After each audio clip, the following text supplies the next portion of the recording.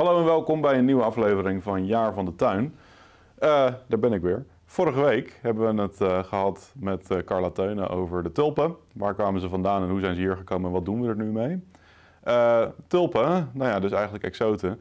Deze week hebben we het over wat in, meer inheems spul. We hebben het over de beleefbare tuin. En als we het hebben over de beleefbare tuin, dan praat ik het liefst met Peter Bulzing. Peter, welkom hier in de studio. Uh, en de beleefbare tuin, nou ja, dat is zo, uh, als je er nog nooit van gehoord hebt, dan weet je misschien niet wat het is. Uh, daar gaan we het over hebben. Maar ten eerste, wie ben jij? Nou ja, Peter Bulzing dus. nou, volgende vraag. al sinds ik kan kijken, um, en dat is dus al, al, heel vroeg in mijn leven, geïnteresseerd in de natuur. Mm, Jacob Heijmans, 22 jaar mijn buurman, zoon van Elie Heijmans, die met Thijs heeft samengewerkt, was mijn buurman en inspirator in Amsterdam. Um, en Amsterdam eindigde toen eh, bij de Stadionkade. Dat zal velen niks zeggen, maar in ieder geval waar de Zuidas nu ligt. En daarachter was uh, het, het, ja, waar het landerij. En daar zwierf ik dan uh, en, en, keek ik naar de zwarte sterns in de sloten en de planten. En, uh, Daar krioelde het. Het krioelde ervan. Tot Amstelveen aan toe. Ja. Nou, dat is nu helemaal volgebouwd. Dus, ja. Um, ja, en ik heb de laatste uh, 18 jaar van mijn werkzame leven uh, bij natuur- en milieueducatie gewerkt in Haarlem. Um, in 1993 uh, een boek geschreven, Natuurlijke tuinieren met inheemse planten. Dus probeerde ik in ieder geval duidelijk te maken dat ook onze inheemse flora fraaie uh, planten kent die in de tuin toegepast kunnen worden, maar dan ook nog een ecologische waarde uh, meeneemt. Um, en, en, toen is het eigenlijk een beetje stilgebleven tot ik in 2014 um, door de enorme achteruitgang van uh, de biodiversiteit geprikkeld raakte om maar weer een boek te schrijven. Um, en dat is dan de beleefbare tuin geworden. Dat was dus 25 jaar na mijn eerste. En bij de presentatie zei ik, over 25 jaar komt er weer een boek. Uh, maar dat was dus al vrij kort daarna. Want toen heb ik een, een boekje geschreven, een biografische schets. Uh, en dat ging dan over het leven van Adolphe Burdet. En dat was eigenlijk de boezemvriend van Jack P. Thijssen, fotograaf, vogelaar, uh, filmer. En nu ben ik weer bezig met een boek wat met name gaat over uh, de ongewervelde, met name de geleedpotige eigenlijk, in de tuin. Um, hoe belangrijk die zijn voor een florerende tuin, voor, voor de planten die er groeien. En, en hoe belangrijk het ook is, zeg maar, uh, voor de biodiversiteit.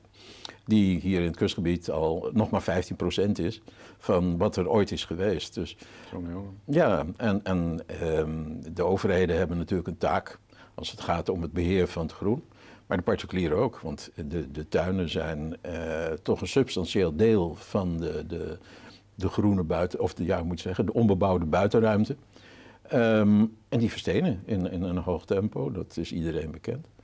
Dat wordt dan wel um, kindvriendelijke tuinen of onderhoudsvriendelijke tuinen genoemd. Maar uh, kindvriendelijke tuinen zijn het in principe niet. Want Um, de biodiversiteit, we maken er deel van uit. We hebben dat ook nodig voor ons voortbestaan. Mm. En, en, alles wat ik doe ten aanzien van dat punt, doe ik niet voor mezelf. Um, het zal mij tijd wel uitduren, ja, denk ik dan. Maar ik heb ook nog een kleinzoon, dus ik doe het, zoals ik dan zeg, voor de kleinkinderen van mijn kleinzoon. Ja. Ook die moeten een levenswaardig bestaan hebben. En, uh, nou ja, we weten allemaal dat het met het klimaat slecht gaat. En nu het met ook, ook met de biodiversiteit zo slecht gaat, ondermijnen we ons uh, als soort uh, ons bestaan. En, en wat, wat, wat doen we daar dan aan? Als ik nou als, tuin, niet... als tuineigenaar, ja. ik heb geen zeeën van tijd, ik heb een stel tegels in mijn tuin liggen.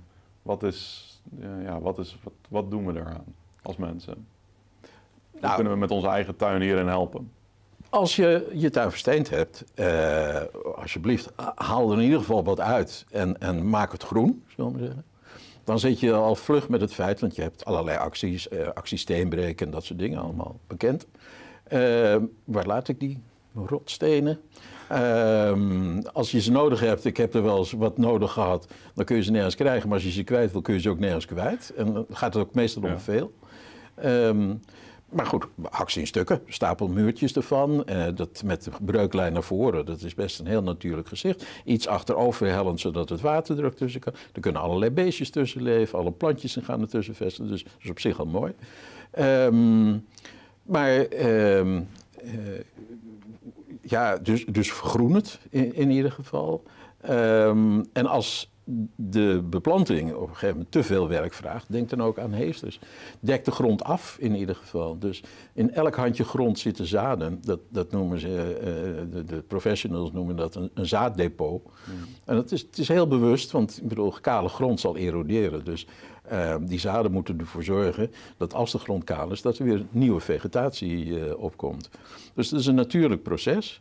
Maar uh, wij noemen dat dan al heel snel onkruid. Ik vind het een afschuwelijk woord. Ja, want, scheldwoord. Ja, het is walgelijk. Maar tropische, exotische planten, die zijn mooi.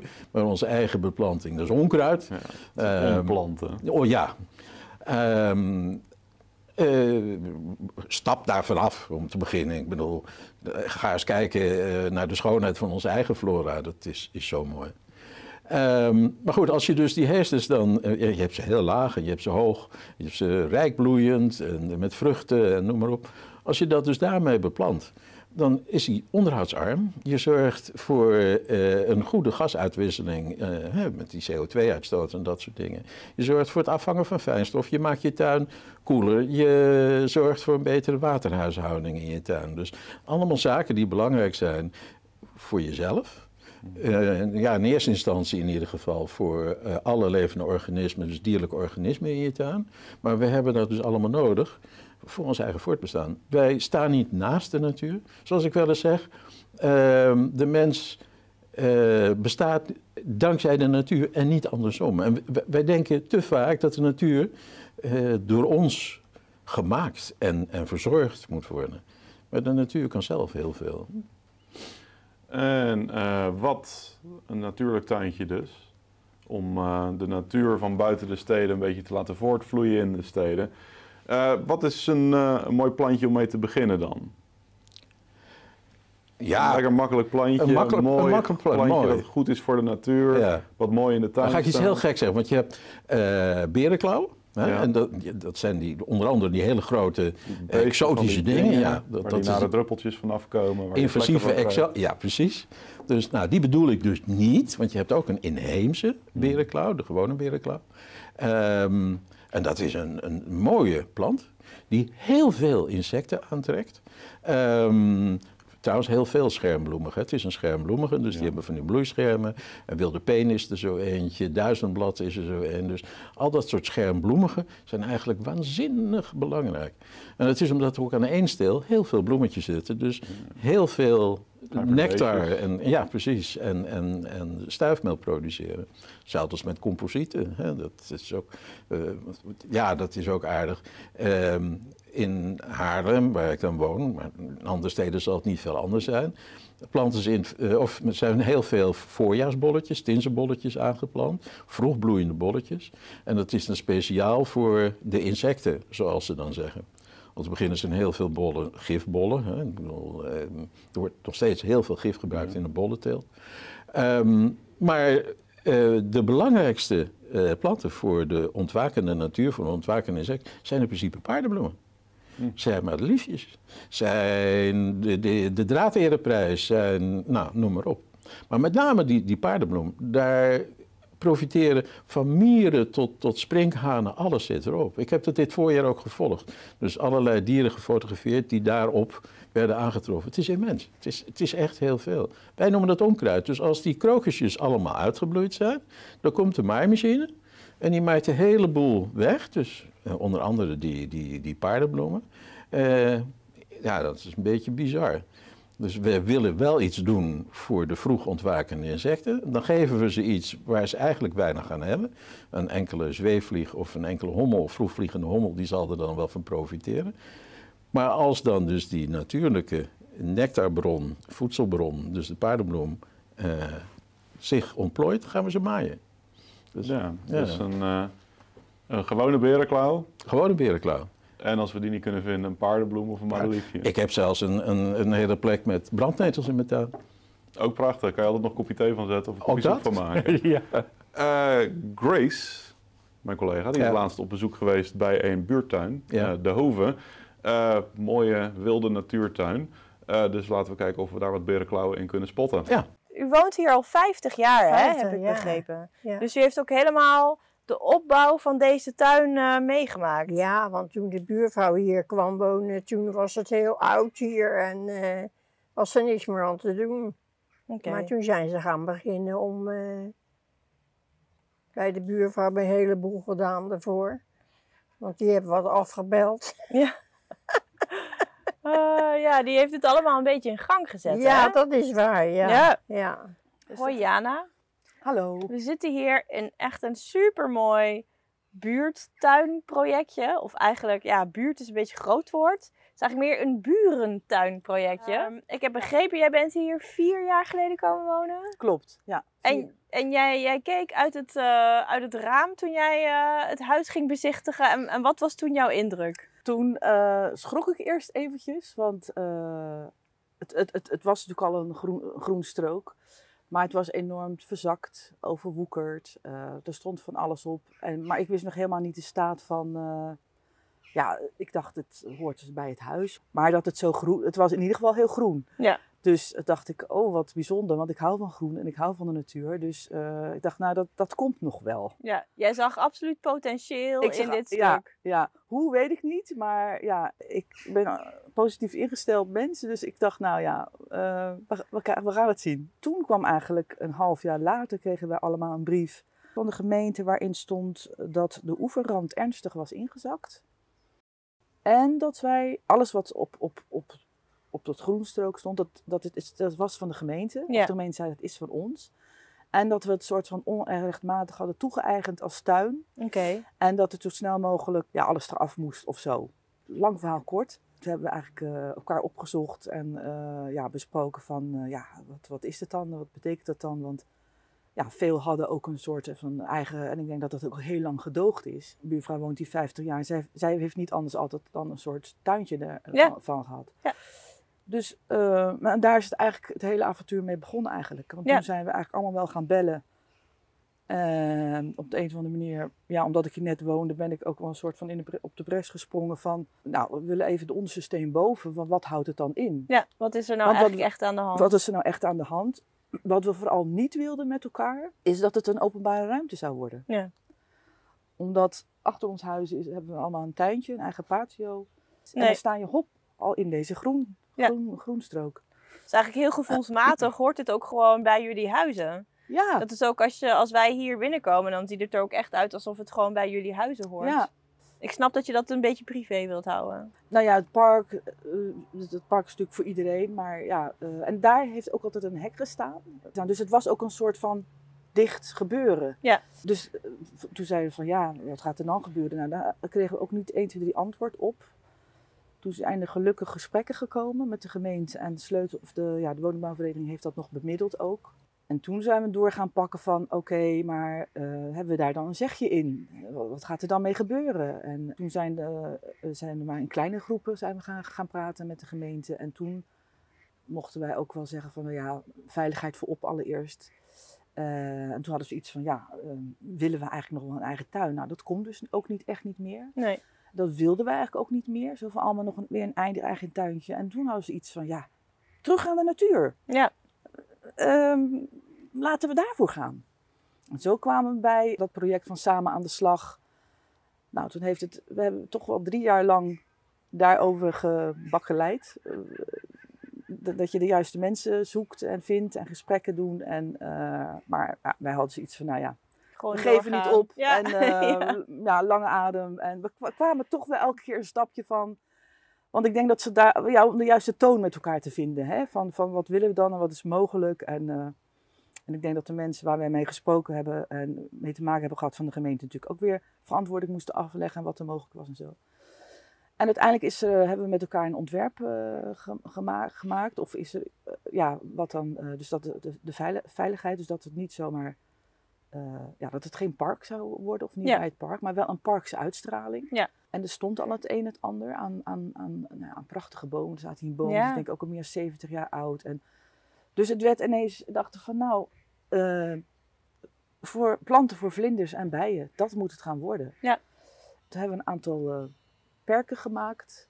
Nou ja, eerst is het opgehoogd, alles weggehaald, opgehoogd. Nieuwe aarde neergezet. Een beetje een indeling gemaakt op papier. En toen hebben we dat allemaal met elkaar ook eh, handmatig eh, her- heringezet. Heel erg leuk.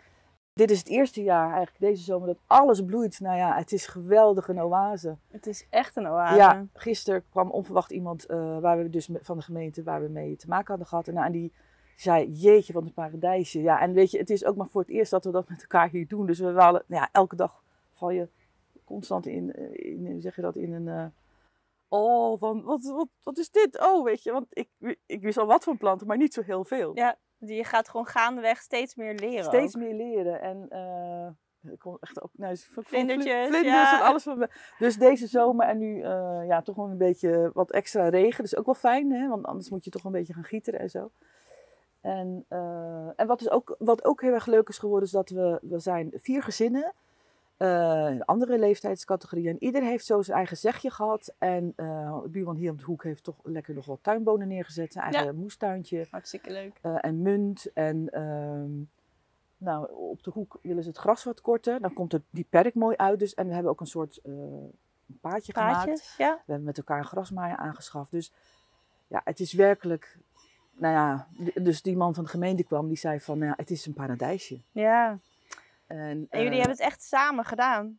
Hoe? samen gedaan. Aangevallen Ja. Ja, het heeft even geduurd, maar eh, we hebben elkaar toch gevonden daarin. Een, eh, een paradijsje. Ja, Eh, het zag er mooi uit. Ik zag Ja. mooie haagwinden. Ik zag ook Ja. wat exotische dingen. ja. Is dat dan ook een hele kwalijke zaak? Nee, natuurlijk niet. Kom. Ehm, kijk, onze eh, eh, fauna is, is afgestemd zeg maar, op onze inheemse flora. Ja. Ehm, dus eh, ik vind dat in ieder geval, als het gaat om het beheer van het openbaar groen, dat men eh, uitsluitend eh, eigenlijk moet kiezen voor inheemse eh, plantensoorten. Ik heb dat zelf eh, in, in het begin ook gedaan, toen mijn boek uitkwam, eh, natuurlijk turnier met inheemse planten. Eh, maar zomers, dan, dan, want de hoofdbloei van de inheemse planten zit eigenlijk zo in mei, juni. En dan heb je eigenlijk een, een, een vrij dorre zomer. En dan in het najaar dan heb je nog weer een opbloei. Zei mijn vrouw ook van, ja, de tuin is wel heel erg dood. Ja, ja, ja dat is waar. Dus nee, combineer het gewoon. In hè. je eigen tuintje mag je wel een paar Tuurlijk, eh, tuurlijk, interessante eh, Maar denk ook aan wat onze eh, inheemse dieren nodig hebben. En dat zijn inheemse planten. En, en wat mij ook wel eh, vaak ter oren komt. men heeft het altijd over drachtplanten. Dus planten die veel nectar en veel stuifmeel geven voor de insecten. Dat is hartstikke goed. Maar als je nou een vlinder hebt die van je nectar en stuifmeel, of nou nectar in dit geval, komt genieten. Ehm, dan ben je hartstikke blij. Maar als die rups van die vlinder nou van een plantje eet, eh, vind je dat niet leuk. Dus eh, wie het leuk vindt om eh, die vlinder in de tuin te zien, moet in principe ook blij zijn met een rups. Hè? Want zonder rupsen geen vlinders. En Dus, die hebben weer waardplanten nodig. En daar moet de nadruk ook veel op komen te liggen. Waardplanten. Ja, dus niet alleen dracht, maar ook waard. Waardplanten. Heel goed. Grace, die is laatst met Dillis, die is hovenierster, een tuinontwerpster, naar de zee, de Helderbuurt gegaan. Naar Jasper, want die heeft dus een tegeltuintje achter zijn huis liggen en daar wil hij wat anders van maken. Eh, dus daar eh, zijn we aan het ontwerpen gegaan voor een mooi ecologisch, mooi groen Mooi. tuintje. Mooi. Eh, en daar hebben we een reportage van gemaakt. Dus Leuk. laten we daar eens naar gaan Ja, kijken. ja. Hoi Jasper. Hi Grace. We zijn bij jou voor een eh, tuin, tuinontwerp met eh Dillis. Ja, heel fijn. En eh, dat is in de Zeeheldenbuurt. En volgens mij woon je hier nog niet zo heel erg lang. Nee, echt maar sinds februari. En het is nu, eh, wat is het? Augustus? Begin augustus. Dus het is echt nog maar. Klein halfjaartje. Ja, ja. En jullie troffen een, eh, een enorme kleurrijke tuin aan toen je dit huis kocht. ja, ja, ja, nee. Ja, tegendeel, eh, zeg maar. Nou, Het is helemaal volgetegeld. En nou, snap ik ook wel. De aantrekkelijkheid van tegels snap ik wel. Maar wij willen toch wel iets meer groen. En ja, iets meer planten, iets meer diversiteit. Ik merk ook in de zomer dat het best wel warm wordt. Eh, die tegels die blijven heel lang de warmte vasthouden. ja. Eh, nou is het deze zomer nog niet bijzonder warm geweest, maar toch merk je het al wel. ja. En, Kan je nagaan. Ja, exact, Ja. exact. En een beetje ja, voor de insecten en de dieren en de vogels en dergelijke is het natuurlijk wel goed om wat in te hebben. En eh, ik denk dat we dan meer geneigd zijn ook om buiten te gaan zitten, want nu eh nodigt het niet bijzonder uit. Nee. Het is niet een echt een heel gezellig plaatsje. Je omschreef het zelf als een beetje een gevangenisplaatsje. ja. Ja, een beetje overdreven natuurlijk, maar eh, Ja, het is, eh, de, volgens mij de vorige bewoner, eh, die, werkte heel, die kluste ook heel veel. Dus die had graag de extra ruimte, denk ik, ook om, Ja, dingen neer te zetten. en dat soort zaken. En hij had een heel mooi speelkasteel gemaakt voor zijn kinderen, Oké. dat eh, achterin stond. Maar ja, voor ons, we hebben nog geen kinderen momenteel. En ja, we willen juist graag wat, wat meer groen hebben. Ja. Iets- een beetje schaduw. Dat soort dingen. Lekker. Want eh, je zit dus nu niet echt heel veel in de tuin, als, als het weer het zou toelaten. Nee, nee, niet echt. En dat komt ook omdat we niet echt meubilair hebben nog voor in de tuin. Nee, maar ja, als je dan een leuk tuinzetje er neer zou zetten, dan zit je nog steeds op een soort van... eh, Plaatsje te kijken. Ja, ja, precies. Dus het is, het is nog niet echt uitnodigend. En eh, ja, we hebben hierboven eh zit een, ook nog een dakterrasje. Mhm. Dat is iets kleiner, dus daar hadden we eigenlijk voor bedacht van... nou, dan kunnen we dat als eerste projectje even doen. Dan kunnen we in ieder geval buiten zitten. Ja. Ehm, maar eh, eh, ja, daar is het ook eigenlijk nog niet van gekomen. Nee, nee, dus eerst nog even het huis inrichten en dat soort dingen. Ja, je- maar je zit er net. En eh, ja, mijn ervaring is dat het ook allemaal gewoon een beetje moet groeien, zeg maar. En dat je er een poosje tegenaan kan kijken om te, te weten wat je wil. Ja, nee, is ook zeker wel. Dus heel veel dingen wilden we eigenlijk ook pas beslissen op het moment dat we er zaten. Ja. Maar tegelijkertijd wilden we ook niet al te lang in een soort van verhuizing zitten. Dus Nee, we hebben een beetje eh, gekozen. Ik had deze eh, ruimte zelfs helemaal gemodelleerd in zo'n 3D-programma. oké. Zodat ik al de meubels erin kon zetten en dat we kon kijken hoe het ongeveer zou zijn. Nou, wat leuk. En dat heeft wel echt geholpen. eh, dus Ja, je, je hebt ook heel mooi voorwerk gedaan voor, voor Dillis. Want ik zag, je had allemaal foto's gemaakt van de verschillende tijden en hoe dan de zon staat in de tuin. ja, ja, er werd me gevraagd inderdaad om te kijken van hoe de, het zonverloop in de tuin is. En toen dacht ik van ja, dat kan ik soort van proberen op te schrijven hoe dat is of zo. Dus ik dacht van ik maak foto's, dan kun je meteen zien hoe het, hoe het, eh, Ja. hoe dat werkelijk eruit ziet. En hoe de schaduw valt. Eh, omdat het soms ja, wel lastig eh, te zien is. Ja, je kan wel, het is inderdaad een tuintje op het oosten en dan is het heel makkelijk om te denken, nou, zon komt op, hup, zo. Maar ja, je zit natuurlijk ook vaak met bebouwing om je Ja, heen. ja dus, die rijen eh, huizen hierachter, die, die werpen toch schaduw. Ja. En de, de schutting, dat soort zaken. En nou heb ik echt niet de verstand van planten, zeg maar. Dus ik weet dan ook niet zo goed eh, of ik een bepaald soort plant ergens neer kan zetten. Eh, als want normaal staat het wel in de zon, maar misschien wel net die schutting dat het dan niet werkt. Ja. Dus, dus Ja, daar hebben we Dillis voor meegenomen, dus dat gaat helemaal ja, heel goed fijn. komen. Ja. Nou, hartstikke leuk. Ik, eh, ik ben heel erg benieuwd wat eh, jullie tuin eh, gaat worden. Ik ook. En eh, ik eh, ben ook zeker benieuwd wat eh Dillis allemaal voor jullie gaat bedenken. Nou, leuk dat ik hier vandaag mag zijn om jou weer te helpen met een eh, tuinontwerp. Kun je mij wat meer vertellen? Wat zijn je wensen? Ja, ehm, er zijn ja, een aantal dingen. We hebben eh, eh, natuurlijk eh, een soort van ehm, eh, overkapping waar we de fiets op willen zetten. Dus er zal wel iets van een paadje naartoe moeten komen. Mhm. We wilden graag een zitje, dus iets van een terrasje of een, een aantal tegels wel, Ja. om op te kunnen zitten. En waar wil je zitten? Wat vind je een fijne plek? Hou je van Ehm, zon of schaduw? Ja, op zich wel in de, in de avondzon, idealiter, zeg maar, voor, voor zover het er is. Dus dan kijken we denk ik toch voornamelijk naar de, eh, richting de schuur, zeg maar. Mhm. Ehm, maar wel met de mogelijkheid om nog iets een beetje beschut te zitten. Want ik hou er niet van om echt eh, vol in de zon te zitten. Ja, de meeste mensen vinden dat prettig, hè? om een beetje intimiteit te hebben. Dus vaak dat Ja. je ergens tegenaan zit. Ja, ja exact. Eh, en voor de rest, eh, gek op planten. In ieder geval dus een beetje wilde bloemenachtig idee. Of inheemse soorten. Mhm. Leuk. Ik vind het wel leuk als het een beetje geurt. Dus dat er een, Geur. een geuraspect Leuk. aan zit. En eh, ja, qua kleur willen we het niet te gestileerd. Dus het mag wel een beetje een bonte verzameling zijn wat, wat, wat ons betreft. Als het een beetje wel eh, past. Maar niet dat het te... eh, nou ja, dat je bij spreken als er een, als er een plant doodgaat... dat je dan eh, exact zo'nzelfde plant terug moet halen... omdat het anders niet meer in het, be- in het beeld past bijvoorbeeld. Dus dat het gewoon een Ja, beetje... dus je houdt in ieder geval veel variatie en veel kleur. Ja, en dan is het natuurlijk leuk als het gedurende het jaar ehm, een, een, een, bepaald beeld in de tuin is, zeg maar. Dus dat, eh, dat er niet alleen in de zomer iets is, maar dat er ook in het najaar nog iets is om naar te kijken. Heel goed, En, ja. eh, Bloeispreiding. En dat is Ja. ook belangrijk voor de biodiversiteit. Dat er eigenlijk altijd ook wat eten te halen is. Ja, nou ja. Ja, dus als, dat, ja, als er een beetje vogeltjes in de tuin zijn, is het natuurlijk ook altijd leuk om naar te kijken. Ja, dus ook leuk inderdaad. Hè? Ook in een kleine tuin van wat kan je nou doen voor de vogels. Ja, als je wat minder oppervlakte hebt en dat je dan toch wat vogeltjes Ja. in de tuin hebt. Ja, precies. Dus dat lijkt ons leuk. En voor de rest, eh, ja, er zijn al zoveel tegels nu in de tuin dat het alleen maar eh, een vooruitgang kan zijn wat mij betreft. Dus, eh, En, en wat zei je, want je had er volgens mij ook over dat jullie eventueel overwegen om in de toekomst ook kindjes te, eh, te krijgen. Ja. Als het jullie gegeven is natuurlijk. Ja, ja dus een beetje gezond staat er zelf ook aan te denken. Dus iets, iets van gras. Om in ieder geval een klein plekje te hebben voor, voor een kind. Er is nu nog geen kind, maar who knows. En dat is inderdaad, hè, het kan zijn, je kan altijd als ze wat kleiner zijn, kan je een stukje gazon hè, kan je, kan je hebben. Dan kan je altijd overwegen als ze wat groter zijn in de speeltuin gaan spelen om het, hè, om het af te plaggen en er dan nog meer planten neer Ja. te zetten. Want gazon is veel, veel onderhoud toch wel vaak.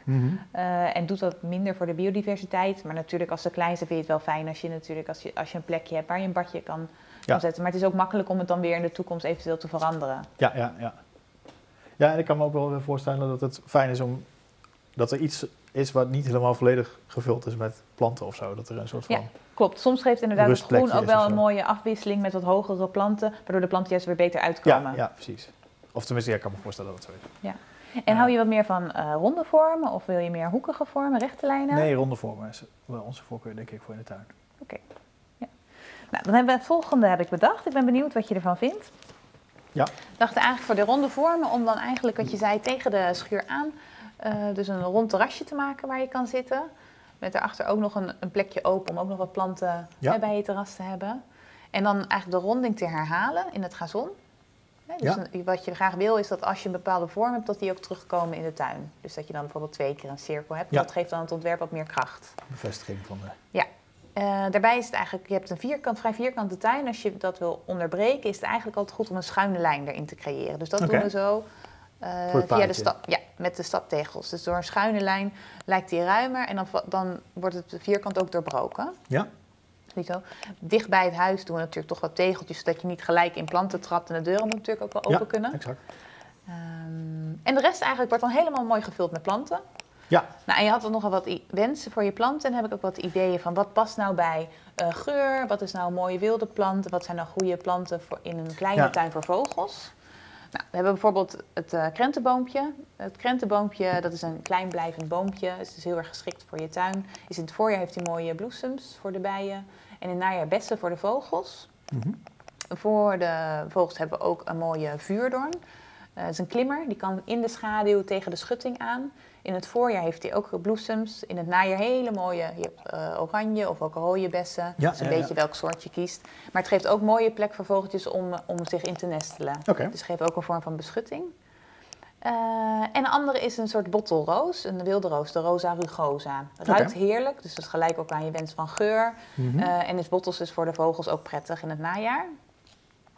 Voor de geur hebben we ook een sering. Sering ken je, in de, ze hebben een vrij grote variant, die wordt wel 2 meter. Die is niet Ja. zo geschikt voor jou in de tuin. Nee, Maar je hebt ook een, een, dwergvorm. Ja, dat is een sering palibin heet die. Die kan hier zo dus ook. Dus die geurt eigenlijk in het voorjaar. Oh ja, nou, dat is leuk.